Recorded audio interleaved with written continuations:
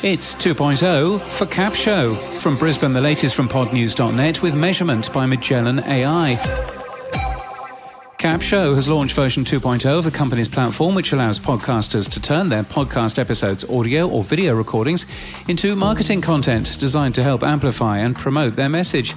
The service also writes your show notes for you and even researches your guests. Ashley Carman reports on a tense staff meeting at NPR, which laid off 84 people last week. Acast has made five people redundant from one of its tech teams. Stacey Goers was one of those affected. It's always very sad to have to say goodbye to talented colleagues, a spokesperson told us. Warner Music Group is to lay off 270 staff, or 4% of the total company. It's unclear whether their podcast division will be impacted. An interactive TV company Roku is to cut a further 200 jobs or 6% of the company. That's double the layoffs they announced in November.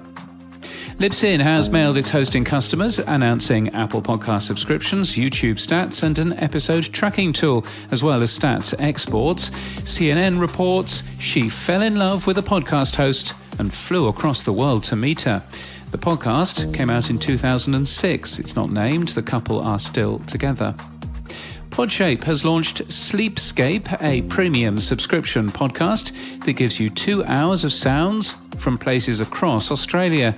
The world's first ambient sound sleep aid podcast, it calls itself. It's recorded in 360 degree audio and is available exclusively on Apple Podcasts. And Libsyn is in the process of making its logo all teal. JioSaavn has also an updated logo, which the company has emailed to podcasters and which we link to today from our show notes and our newsletter at podnews.net. It's an excellent page highlighting how to pronounce and type the brand as well. And perhaps now is a good time to mention that we are spelt Podnews without a capital N. No, really.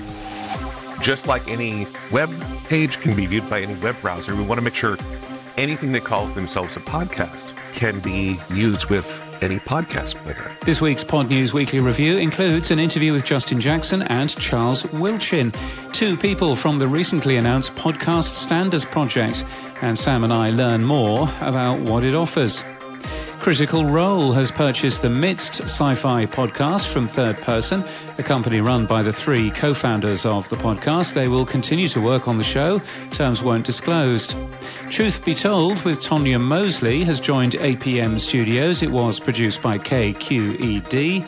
And Something in Media is a new podcast where successful people in television, film, radio, podcasting, and social media all tell their story about how they got to where they are. It launches tomorrow, featuring the likes of Jamie Morton from My Dad Wrote a Porno, James Longman, who's executive producer on The Late Late Show with James Corden, but it's not his fault, Jess Rudkin from BBC Bristol, and Dave Vitty, formerly of the Radio 1 Breakfast Show.